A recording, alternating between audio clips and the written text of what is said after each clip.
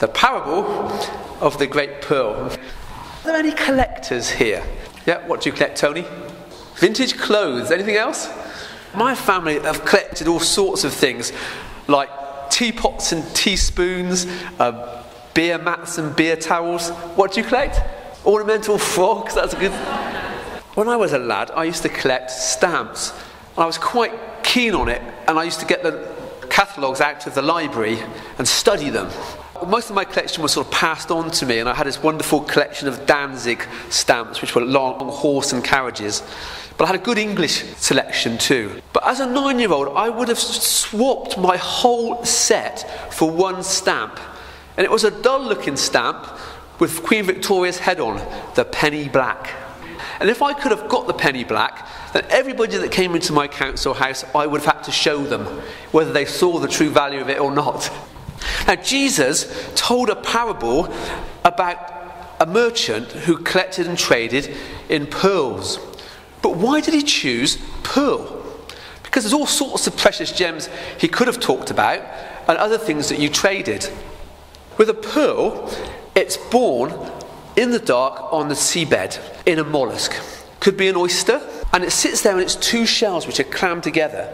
It opens up the shell to feed, and it feeds off the plankton in the sea. But occasionally, a parasite or some other foreign body gets into the oyster between the shells and causes it pain and irritation. So it has a defense mechanism in which it secretes a crystalline substance called nacre. And it will coat the irritant in this, and it will carry on doing that year after year, long after the pain's gone. It forms this wonderful pearl inside the shell. Now, they reckon that perhaps one in 10,000 oysters will have a pearl in them. So you can see how rare they are. Just before the time of Jesus, the queen and pharaoh of Egypt, Cleopatra, she was talking to her friend, the Roman general Mark Antony, and she was trying to convince him that Egypt had a heritage and wealth that was beyond conquer. And to do this, she said, I will prove to you this. I will put on the most expensive meal ever thrown as a wager. And he accepted the wager, and he turns up for this meal, and the table is bare. There are two empty plates and two goblets of wine. Mark Antony sits down, and Cleopatra sits down, and she takes off one of her two earrings. And they are huge pearls. And she has this pearl crushed in front of him, pours the powder into the wine, and knocks it back. Then she offers the other pearl to Mark Antony as his meal, which he declines and accepts that she's won the wager. Pliny the Elder, who came along about the time of Jesus, and he said that these pearls were worth 60 million sesterces. That's enough fine silver for 50 tons of weight, which is the weight of 20 male elephants or a passenger jet. So this was an expensive pearls. So you can see how expensive they can get. And in the time of Jesus, the pearl would have been the most expensive thing that you could possibly collect or trade. But why did Jesus use parables anyway? What's the point in a parable, which is like a picture or a metaphor? Well, modern communicators tell us that a metaphor can get into our subconsciouses past the barrier that our conscious minds put there. If I asked you to name a ski jumper, any ski jumper, who would you say? Eddie the Eagle. Now, this was 1988 in Calgary. Eddie was too heavy for ski jumping. He had, didn't have the proper equipment. He was long sighted, so he had thick glasses which steamed up when he was on the slope, so he couldn't see where he was going. We were enraptured watching him in the Olympics. Would he make it? Would he survive? And of course, he did. He came last, broke the English record, but do you remember who won it? Do you remember what his real name was? Martin Edwards. But it's that metaphor, isn't it, of Eddie the Eagle that has stuck in our conscience and just stayed there for decades. So Jesus was using this. And in Matthew 13, we see the first set of eight parables. Four of them are spoken from a boat. One of those he explained on the time. A bit later, he went back to his place he called home in Capernaum with his disciples and then explained another one of them. But he put down four new parables and didn't explain any of them. Because he's putting these concepts in their minds, and then it's up to them to dig deep and question it and get out the true meaning. So he told this parable. The second of the ones he told the disciples in a home said there was a merchant looking for fine pearls. he came across one of great value, went away, sold everything he had, and then acquired the pearl. Now, Jesus would have been very familiar with merchants because he was brought up on a trade route. And these guys on the trade routes, they would travel long distances to find the things they wanted to sell and then find the right markets across the known world. Jesus describes this merchant. He traveled a long way and he came across a pearl and recognized it to be of great value. It was something he wasn't expecting to find, but it sort of smacked him in its face with the beauty of this pearl. It built in him a desire for it. He had to have this pearl, and he was determined to do whatever it took to get this pearl. He goes away, perhaps he put a deposit down, he goes along his trade routes and he sells all his other pearls and everything he had, and then he comes back and acquires the pearl. And he was overjoyed with it. It cost him everything, but he still felt he had a great bargain.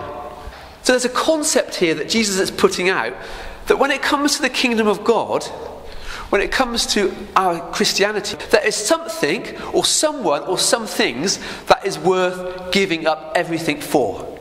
That's the concept, and it goes. But then our front mind say, well, who is the pearl? What is the pearl? What do you think? Some of you say Jesus? You're in good company if you say Jesus, because the great preacher Charles Spurgeon gave strong, convincing arguments why Jesus is the pearl of great price, and many others too. However, there are also great men and women that say, no, that can't be true because we don't seek after God like He seeks us out. And we can't pay for Jesus and for salvation because it's a free gift.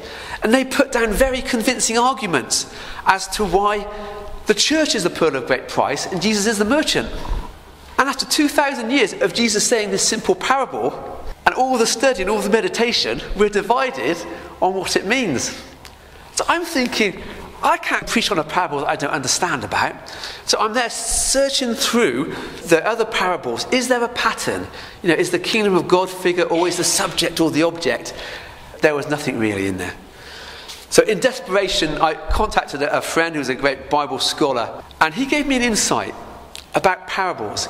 And he said, Look at parables not as a, a sequential teaching of the kingdom of God, but look at them as photographs in an album. So I pictured them as photos in a wedding album. And my daughter got married last year. What a great day it was. And I enjoyed going online in the social media and picking off photographs that other people had taken and putting together like a digital album because it was seen through different lenses. It doesn't matter what order they were in, each photo had a different picture, a different angle on the wedding. You could see some of the colours, the wonderful venues, what they were eating, etc. It was a great way of seeing the day without being there. So I started praying into this idea. And I got a picture. I was actually in the room with Jesus and his disciples in my mind's eye. I could see a long table in the middle of the room, a long, low table. On one side of it, reclining, is Jesus. On the other side, at 45 degrees, are all his disciples. And at the end of the table is a big window with sun streaming through it. And on the table, there was one item only, raised to eye level, and it was the most enormous pearl you'd ever seen. Absolutely beautiful. I'm there with my camera, so I go round behind where the disciples are, and I take a photo of what they can see. And as they look forward, they can see something which doesn't just reflect the light, but seems to be the source of light. And it's so beautiful, and their heart goes out and they know that they will give their whole lives, whatever it takes, for that thing. And then they see the pearl. Because what they first see is Jesus. And when they first saw Jesus, they knew there was something different in Jesus. He could be a great prophet, he might even be the Messiah. And they wanted, they desired him, and they were determined to do whatever it took to be part of that intimate relationship with him. And Matthew left his tax booth, his plum Roman job. Andrew and Peter, James and John, they left their fishing boats with Zebedee. They gave it all up and they followed Jesus. And wow, was it worth it! it was, he was the greatest teacher ever, the great poet ever. They lived in communion with him. They went off and did the things he did. They later became great missionaries and evangelists and church leaders. Was it worth them giving up everything else for? Of course it was. Because they recognized and experienced the true value of Jesus Christ. And we, as his followers, as his disciples, we also need to see the true value of Jesus Christ. What is the value to us? He promises that we'll be adopted into his family, that we'll be co heirs with Christ, princes and princesses of the kingdom of God. He promises us the fruit of the Spirit, his love, joy, and peace, his patience, his kindness and faithfulness. He'll build in us our goodness, gentleness, and self control help us to be more like Jesus? If that's not enough, he promises us the power and authority of the Holy Spirit. That we can do things in the power of the Spirit like he did, do great things like him, and even more, he says, as we press into that relationship. And if that's not enough, he promises us eternal life, that we can be with him and with our Christian friends and family forever. What great value there is in following Jesus. But you say, well, what's it going to cost? Well, actually, you can't pay anything for it. You can't do anything for it because everything we have is on loan from God anyway. It's a free gift. So, where does the cost come in? Well, the cost is in getting to that point where we recognize that Jesus is of that true value, like the disciples did. So, the point at which we can be determined to follow him. And some people won't do that because they can never get past some things in their life, like their self pride. If we've got self pride and we think we can do it on our own strength, you know, we've got to give that up. That's part of the cost. There may be things in our lives that are barriers to us seeing the true value of Jesus. It may be possessions, it might be lies we've been told, it may be other distractions in our life. So we need to get to that point where we recognize the true value. Jesus is truly magnificent, and without a shadow of a doubt, he is the pearl of great value. So then I take my camera in my picture, in my mind's eye, and I take it to behind Jesus. And I can now see what Jesus sees. And the light is streaming down through the window. And he can see something that greatly reflects the light. Something with wonderful colours, with so much potential and beauty that he knows he'd give everything for. And then he sees the pearl.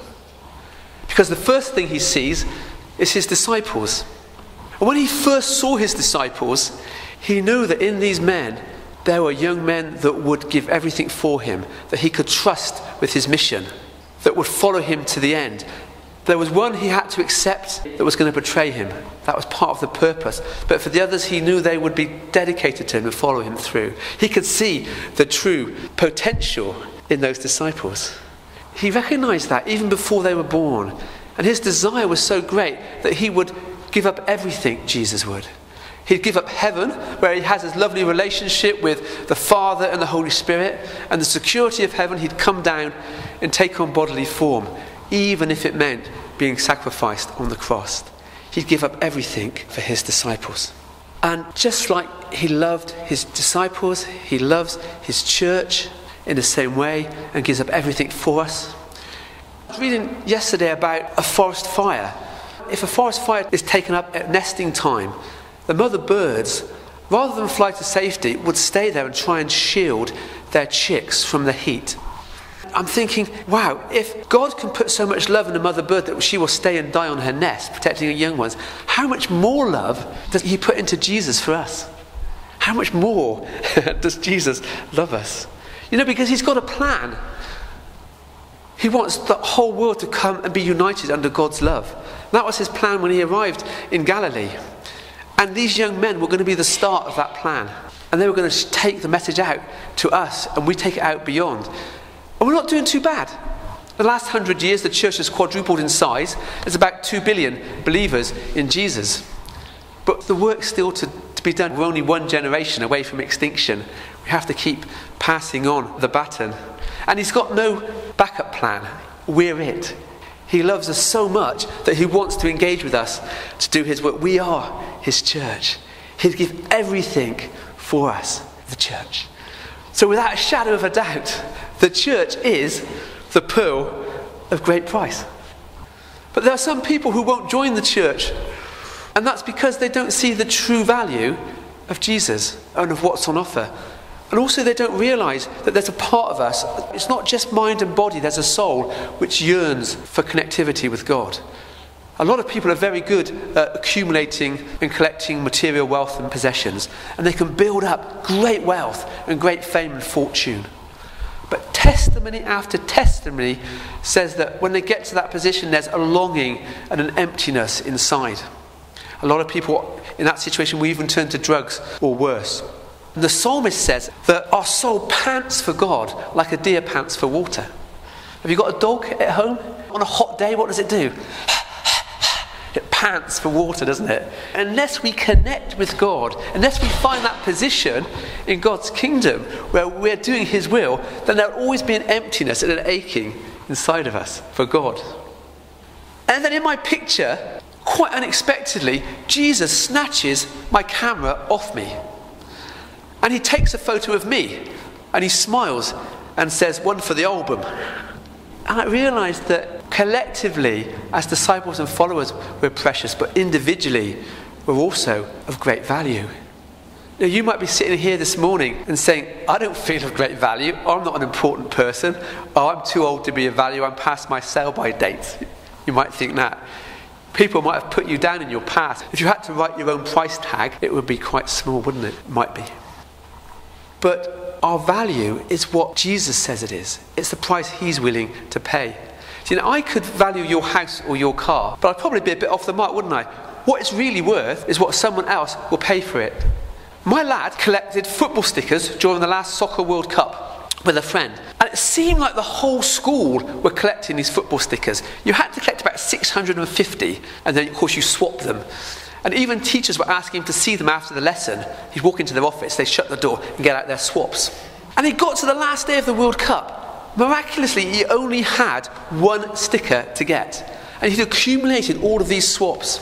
So he walks in to a year nine registration. He stands in the doorway with this big wad of swaps and said, Anyone that has Hadrovic of Bosnia can have all my swaps. Everyone rushed to look through their stickers. And one lad lifted it up. I have Hadrovic of Bosnia. And he goes over, checks, and gives them all of his swaps. And he was delighted. And that boy, when he woke up in the morning, if he'd looked at Hadrovic of Bosnia, he would have been worth, perhaps in his mind, one swap. But he didn't understand its true value because that day it was worth the whole wad of Mars's swaps. Was Mars happy with that? Of course he was. If he'd had 400, he would have given that up because the swaps are worthless when you've completed your collection. Everybody was happy. It was a great outcome. And Jesus places such a value on you. Your price tag is the death of Jesus Christ on the cross. He sacrificed himself for you. We're like an oyster, aren't we? We start off sitting on the bed of the ocean, and Jesus reaches down into the darkness and he pulls us up into the light. And we've got our two shells clammed over our heart. And he won't open up the shells, he invites us to open up ourselves, just like the clam opens to feed. We have to open it ourselves. And then he can see the impurity in us. He can see the irritation, the pain inside of us. And he can wrap it around in his love. Just like the oyster wraps around the impurity and produces this beautiful pearl, he can reach into our hearts and produce something beautiful in us. I mean, the word pearl means purity. And as we give up our old life and our sinful life, he replaces it with pure white robes, with his cleanliness. And just like the light reflects off the pearl, the light of the sun, the Son of God, will reflect off us. And just like a nine year old boy collecting stamps with his penny black, Jesus has you and he says, Isn't she beautiful? Isn't he wonderful? He's so proud of you. He loves you so much. He'd give up anything for you. And I realize it without a shadow of a doubt. You are the pearl of great price. And he loves you dearly. Just be sure that your photo is in his wedding album. Amen? Amen.